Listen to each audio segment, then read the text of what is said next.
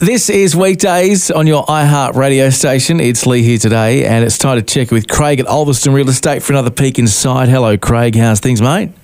Hello, Lee. Things are great. A little bit gloomy outside, but a bit of liquid sunshine never goes astray. We like the sound of that. Today, we're going to cover the five biggest pricing mistakes home sellers make. Uh, obviously, this is something that happens quite regularly if you're seeing the need to address it. Mate, it's in 21 years of real estate. I've seen it from day dot, but um, it's just human nature. But uh, we've got to try and, once again, we use that word emotion. Let's take the emotion out of it and let's look at facts. And uh, that's what will help a, a home seller no end. So the sale price of any property usually falls somewhere between the seller's hopeful expectations and the buyer's market knowledge and value assessments.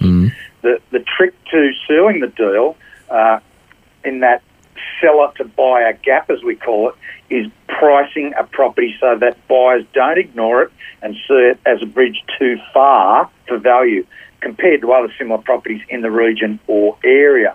Now, even in hot markets where buyers are competing for property, sellers who overshoot the runway can find themselves in for a long wait, whilst other similar properties are flying off the shelves. Vendors may not realise it, but they may be helping to uh, sell other competing properties when they ignore what the market says about value and they stubbornly stick to their expectant price. Now, the scenario scenario's played out regularly all over the country, and more so when we're operating in an even, or as we are now, almost a, a buyer's market. And uh, we're seeing it locally with some properties sitting unsold longer than the days on market averages. Okay. So, here are five pricing mistakes you should avoid when offering your home to the market. Let's go.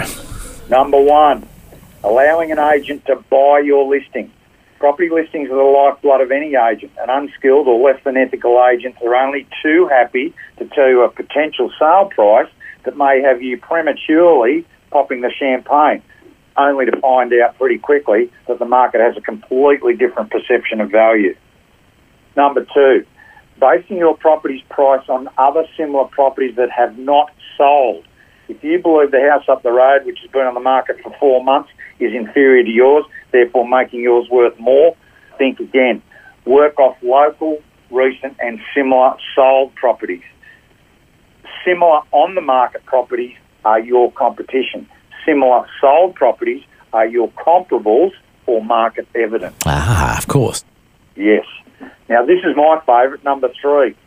Getting advice from the butcher, the baker, and the candlestick maker, or your Uncle Ron, who was in real estate from April to September 1992, about what your place might be worth. Uncle Ron's, I love him.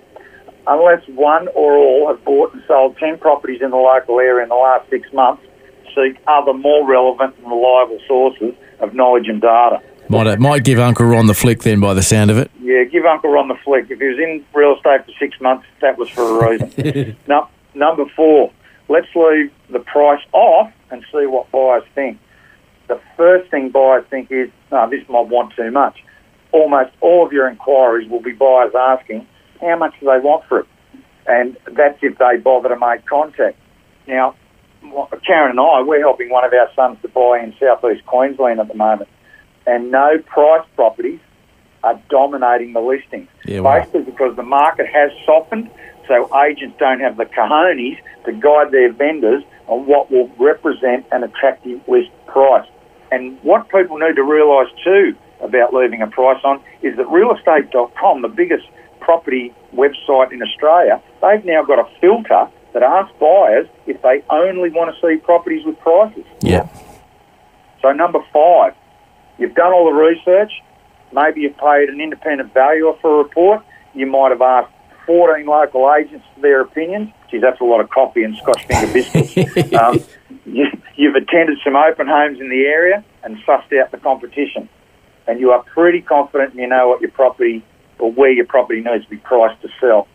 But then you decide, look, we'll put on another 50000 for negotiation. Bah, bow, you know, the family feud buzzer. It's highly likely that cream you placed on top for negotiation will curtail the appetite of any buyer in your price range. Price your property to be in the market, not on it. So pricing any property for sale can be a real balancing act. What you want as opposed to what the buyers will actually pay. Yeah. Buyers have more data and online tools at their disposal to determine what a place is worth even before they've made a phone call or set foot inside the door. Now, there's two very simple ways we know if a property has been priced to meet market sentiment. Oh, okay. Number one, all you hear is the birds chirping, dribs and drabs as far as buyer inquiry goes, and nobody turning up to open homes. We have we have the luxury of seeing how many potential buyers view a property on the big websites. If the views online are growing, but the inquiries and inspections are basically non-existent, Houston, we have a problem. Righto. The flip side of that, we get emails, we get calls, text messages are, are constantly coming in. Uh, lookers or potential buyers are turning up to open homes. And if that's the case, you know you are on or at least around the money. Yeah, right. So here's two little two little things to consider. Price it right and the buyers will have you in sight. Price it high, watch the buyers fly. Yep. Vendors may set the price, but buyers determine the value. So that's all it in a nutshell. So if anyone's got any questions about selling or buying in this current market, don't hesitate to drop me a line. Uh, just craig at ulverstonerealestate.com, that's the email, or check out our Facebook page. Ulverstone Real Estate. Send me Okay. message. Lovely. Um, have you got a quote for us this week? I've got a ripper quote for us this week. The man who seeks free advice rarely listens. He who pays for it is all ears. Naturally. All right, mate. Thanks. It's Craig Heppel from Alvis Real Estate with a peek inside. We'll do it again in a week. Thanks, mate. Thanks, Lee.